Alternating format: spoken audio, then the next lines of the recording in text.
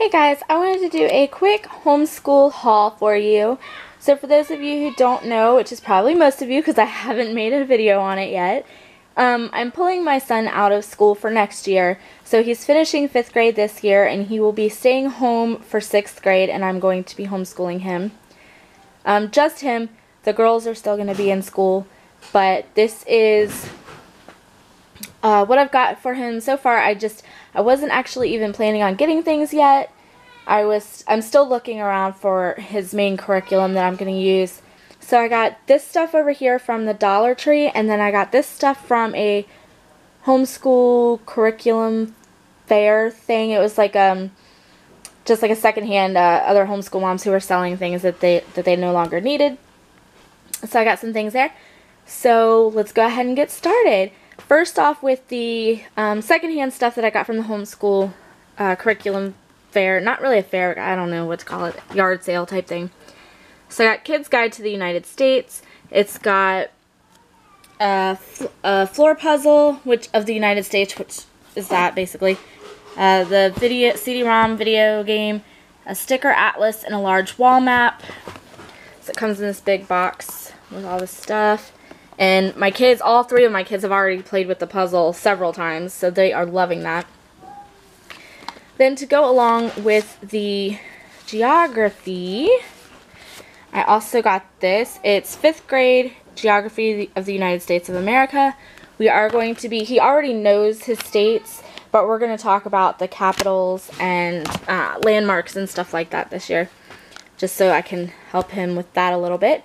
Then um, we were going to do a study on the presidents, but we decided not to do that.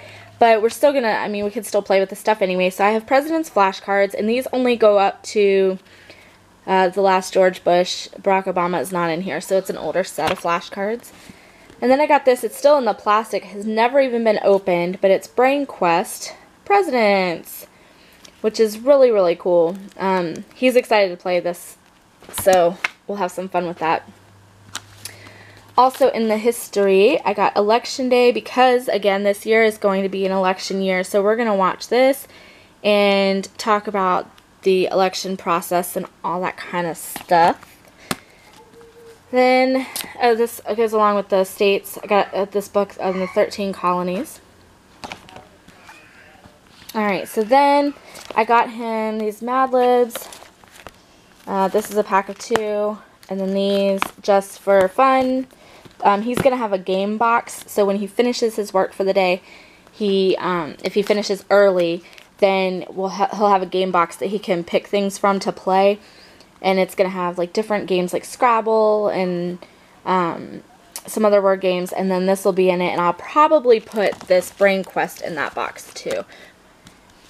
Alright, so for reading, I just picked up this. Again, it's a fifth grade one, but it's just got like stories and then questions and vocabulary and stuff from the stories. This is a very thin workbook.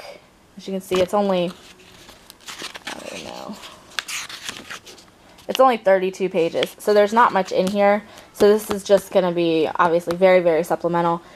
Um, then we have this for math. It's grade 4 through 6, independent practice.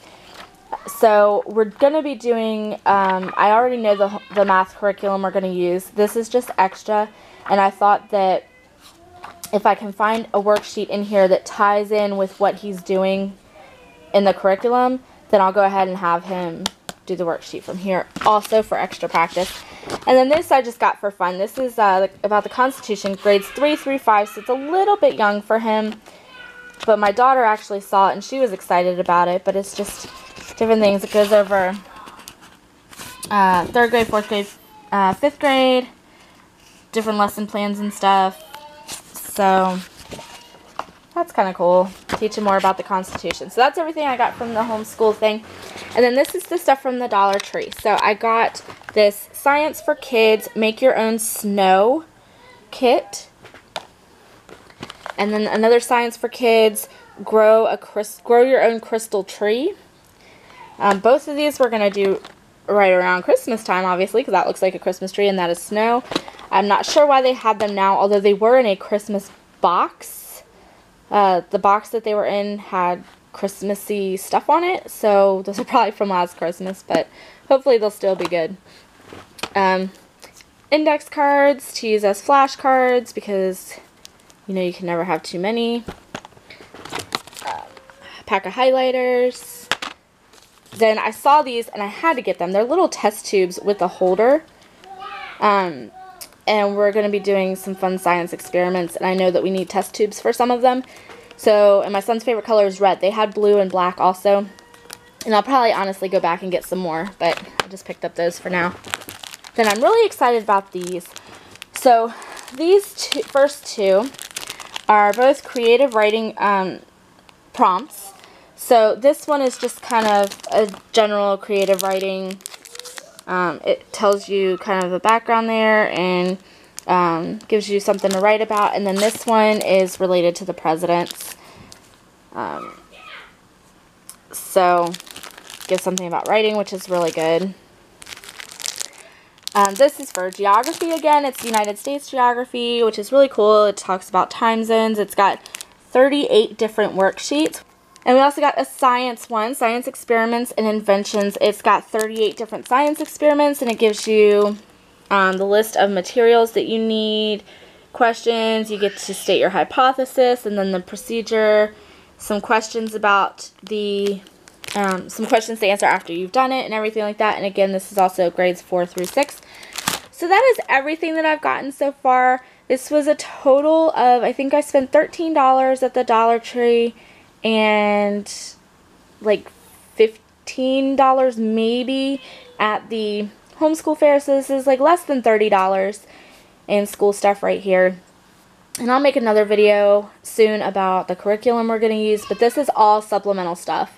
Obviously, none of this is our, you know, main curriculum. But this is all just extra stuff to tie in to give him a little bit extra activities. I like these these fun activities. These and um, some of these games and the Mad Libs and stuff. I'm really excited about all of those because I definitely want to make it fun for him. But anyway, thank you so much for watching, and I'll be making a few more homeschool related videos coming up soon, and hopefully you enjoy them. So please subscribe, like, and comment if you have any questions or comments. Thank you. Bye.